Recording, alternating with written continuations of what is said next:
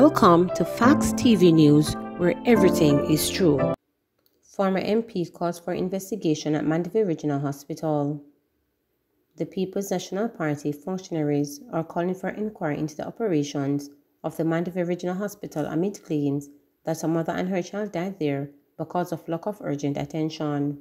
Former MP for Clarendon Northwestern Richard Azan outlined what he said were matters of concern surrounding aspects of the hospital's operation. Mr. Azan highlighted a case of a mother and child dead at the hospital because of lack of urgent attention. He also outlined further reported challenges while reiterating his call for an investigation to take place and expressing sympathy to the family members who have lost loved ones due to negligence at hospitals across the island. A family's gloom.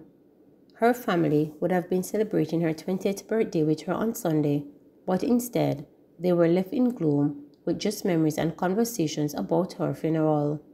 Mona Ann Forbes, a Garvey Maceo High School graduate who was preparing to start nursing school next year, was one of three people killed in a two-vehicle collision on Melrose Hill bypass in Manchester last Friday morning. Christine Forbes, Mona Ann's cousin, told reporters that it was a brutal loss and a brutal time. It's just really hurtful. It's really painful. It's psychological. It's emotional. It's physical because I think we are as hurt as well as we're upset. We feel as if we were just robbed of an opportunity with her.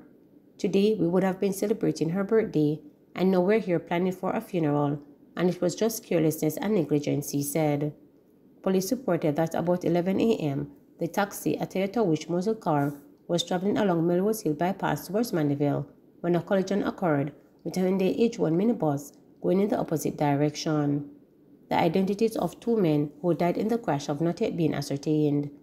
Forbes said it makes it harder for the family to know that had the motorists involved been following the road guidelines, the tragedy could have averted. She would have been here with us today. It's painful. It's the worst thing I've ever experienced. It's the worst thing my family has ever experienced. It's just so bad. Now it's happened to the Forbes family. Tomorrow it's going to happen to another family. Yesterday it was another family. So it's almost as if it's just an unending crisis on our roads, she lamented. Mona had dreams. Just three weeks ago, I was talking to her and she told me about her intentions to start nursing school next year. And I encouraged her, saying, whenever she's ready, we are here to support her. She had her whole life ahead of her, and she was just robbed of that opportunity because of a careless move. Evis Messam, Mona Ann's grandmother, told reporters that it is hard to come to terms with what was happening. Mona has been a bond of joy and happiness. Watching her grow is an absolute pleasure. Saying goodbye to my granddaughter is next to impossible, but I will see Dance with the Angels, baby girl, and happy birthday. Lasoria Thomas, another cousin, said Mona was a beautiful person inside as she was outside. She was ripped from us by this awful tragedy. The beautiful memories of her will be forever etched in our hearts she was loved by all and will surely be missed by all. Police report that 10 people were admitted at hospital and three others treated and released. Meanwhile, Forbes maintained that someone should be held accountable for the death of her cousin and the other victims. It can't go like that. Two other persons died in that incident. Their families are also grieving, and it's just really bad. It could have been so much worse. It was really brutal for us to see our little Mona go that way it's just too much, she said. Up to Friday, November 4, 385 people have died in 391 fatal collisions, according to the Road Safety Unit, or RSU. Data compiled by Global Road Safety Facility show that 75% of road fatalities and injuries in Jamaica are in the economically productive age group between 15 and 64 years. Country MPs are a special breed, says Morgan. Member of Parliament for Clarendon North Central, the Jamaica Labour Party's Robert Morgan, has described country rural MPs as a special breed. Morgan made the remark during his recent contribution to the State of the Constituency debate. Our constituencies are vast and diverse. Farming, manufacturing, food processing, transportation, and entertainment are big industries for the country's MPs, said Morgan.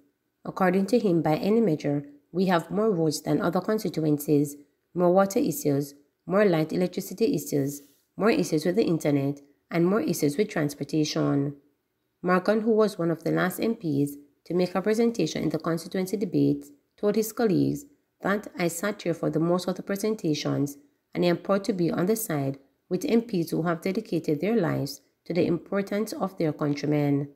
I am more proud of the country's MPs who travel hundreds of miles every month to spread the good words and deeds of a government that cares, a government led by the most consequential leader in modern Jamaica and Jamaican wholeness. Continuing, Morgan said, We are confident and sure that despite the challenges many of us first term MPs have inherited, we know we have a leader with the vision, wisdom, and understanding to navigate our complex world with the intuitiveness of craft policy, plans, and programs that are substantive and substantial.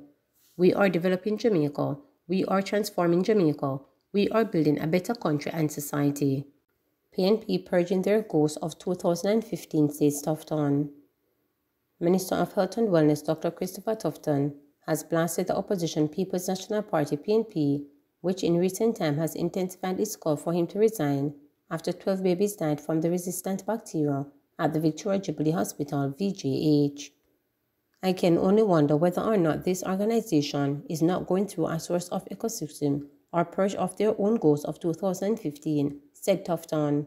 He was addressing a Jamaica Labour Party era Council 4 meeting at the Bethel Primary School in Hopewell, Hanover, Sunday evening. Tufton was referring to what is known as the dead baby scandal, in which 18 preterm babies in the public hospital system died. The then Health Minister, Dr. Fenton Ferguson, was removed from his post by the Prime Minister at the time, Portia Miller, after public pressure and stringent calls from the then opposition JLP. Now the JLP claims the two situations are different and party has close ranks behind Tufton. Following the recent revelation of the deaths of, at VJH, Tufton was flared by failing to advise the nation until after the story became public. Last week, the PNP led a series of demonstrations across Jamaica as the party intensified its calls for the minister to resign or being fired by Prime Minister Andrew Holness. On Sunday evening, a stringent Tufton directly addressed the PNP. I respect the opinions that you offer, and those opinions are important in our, in our democracy, but don't use me to experience your own purging based on your regrets of some of the decisions that you have taken, he said. The reality is that they have a bigger problem, and if I were there, I am not, and I am happy I am not, I would seek to address the bigger problem that they have. And you know what that bigger problem is. The people of Jamaica prefer the leadership of Andrew Holness administration and what we have provided over the last couple of years, Tufton said.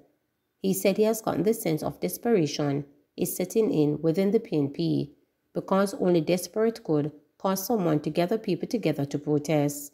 The minister noted that while it is the right to protest, the opposition runs the risk of scaring the Jamaican people from visiting our health institutions through false narrative or exaggerated narratives. He maintained that the country's healthcare system is better.